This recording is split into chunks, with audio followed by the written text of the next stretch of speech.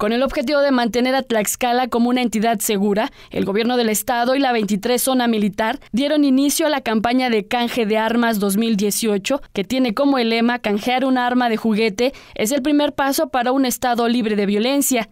En su intervención, el secretario de Gobierno, Aarón Pérez Carro, dijo que para el estímulo económico por el canje se han destinado 400 mil pesos. Refirió que se esperan recolectar al menos 100 armas de fuego.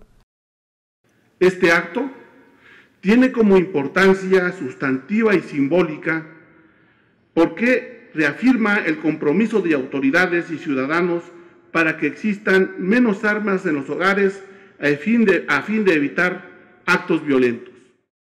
Agregó que estas acciones permitirán disminuir la incidencia delictiva y la aportación ilegal de armas, que solo pone en riesgo a los tlaxcaltecas, por su parte, el general diplomado de Estado Mayor de la 23 Zona Militar, Miguel Hurtado, dijo que se trabaja de manera coordinada con el gobierno del Estado para mejorar la percepción de la autoridad ante la sociedad. Añadió que esta campaña se realizará del 24 de julio al 1 de septiembre. Esta campaña busca hacer conciencia en todo ciudadano que no todo se, resuelve por medio de la violencia. De lograrse la meta, y estoy seguro que así será, estos programas generarán condiciones que permitan a la ciudadanía formar parte del esfuerzo nacional de lograr un México en paz.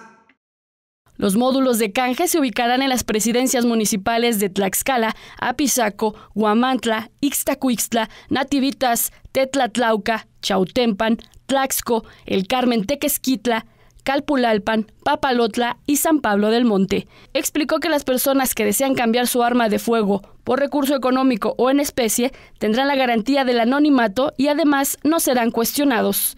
Ahora noticias, Belén Rodríguez.